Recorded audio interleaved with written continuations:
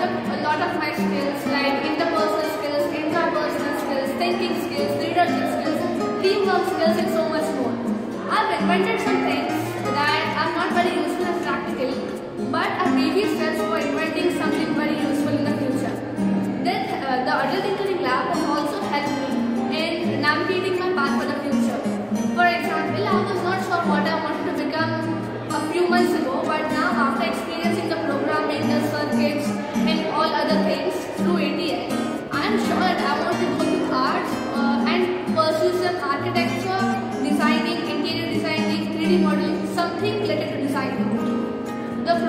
programming and uh, circuits are not known by other of my peers of the same grade. So it's given me a boost and something that my peers don't know. So it's sort of nice to tell others what I know and be a teacher for them.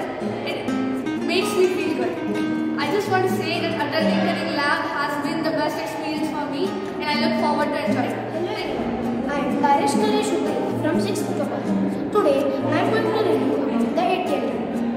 In lab, we are making the projects which will help in future. This will help in our future by how, uh, how the uh, machineries work, how uh, they are used in different uh, ways and how uh, they can help it in our future. In our future,